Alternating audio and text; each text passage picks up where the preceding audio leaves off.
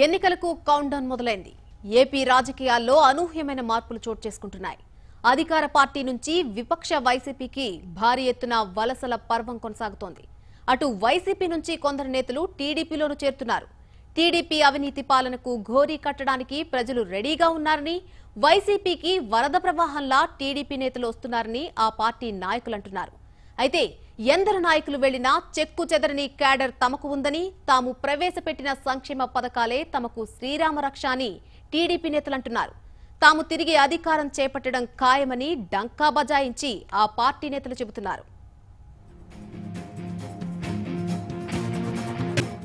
ఆరు నెలలు సహవాసం చేస్తే వారు వీరవుతారని సామెత. అయితే ఏపీలో రాజకీయ సమరాన్ని పరిశీలిస్తే ఐదేళ్ళు పార్టీలో ఉంటే బద్ధశత్రువులుగా మారతారేమో అనిపిస్తుంది. కలిసి ఉన్నప్పుడు పెద్ద నేరమైన చిన్న తప్పుగా కనిపించే పరిస్థితి. పార్టీ విడిపోతే పూర్తి రివర్స్. అంతవరకు పార్టీనైనా పార్టీ అధినేతనైనా ఆకాశానికి ఎత్తేసిన నేతలు అమాంతం పాతాళానికి తోసేస్తారు. ఇది అధికార ప్రతిపక్ష పార్టీలు రెండింటిలోనూ ఉంటోంది. అధికార పార్టీని వీడి ప్రతిపక్ష వైసీపీలో చేరేవారి సంఖ్య ఈ మధ్య అధికంగా కనిపిస్తోంది. తాజాగా కాకినాడ ఎంపీ తోట నరసింహం తన సతీమణి వాణితో సహా వైసీపీలో చేరారు. తోట నరసింహ జగన్ సాదరంగా ఆహ్వానించారు. మరోవైపు ప్రముఖ పారిశ్రామికవేత్త పొట్లూరి వరప్రసాద్ సినీ నటుడు రాజా రవీంద్రలు వైసీపీలో చేరారు.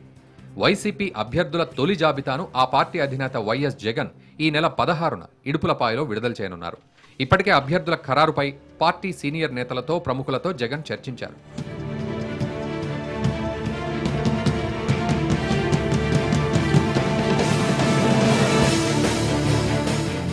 ఈ నెల పదహారున ఉదయం పది గంటల ఇరవై ఆరు నిమిషాలకు వైసీపీ అభ్యర్థుల జాబితా విడుదల చేసి ఇడుపులపాయ నుండి ప్రచారం ప్రారంభించనున్నారు. సిబిఐ మాజీ joint director JD Lakshminarayana TDP కండువా కప్పుకోనున్నట్లు తెలుస్తోంది. సీఎం చంద్రబాబుతో భేటీ కానున్నట్లు తెలిసింది. భీమిలి నుండి పోటీ చేసే ఆలోచనలో లక్ష్మీనారాయణ ఉన్నట్లు సమాచారం. మరోవైపు విశాఖ ఉత్తర నియోజకవర్గానికి లోకేష్ మారే అవకాశం కూడా ఉన్నట్లు సమాచారం. ఏపీని దొంగల హబ్బుగా మార్చేస్తున్నారని సీఎం చంద్రబాబుపై వాసిరెడ్డి పద్మ ఫైర్ అయ్యారు. జేడీ లక్ష్మీనారాయణ టీడీపీలో చేరనున్నారని వస్తున్న వార్తపై స్పందించిన ఆమె జేడీ బాబు ఇద్దరు తోడు దొంగలేనని విమర్శించారు. వైసీపీ అధినేత జగన్పై టీడీపీ ఎమ్మెల్సీ బుద్ధా వెంకన్న మరోసారి విమర్శల వర్షం కురిపించారు. బీసీ గర్జన పేరుతో నోటికొచ్చిన హామీలన్నింటినీ జగన్ ఇస్తున్నారని ఆయన ఇచ్చిన హామీలను చంద్రబాబు ఇప్పటికే అమలు చేస్తున్నారన్నారు.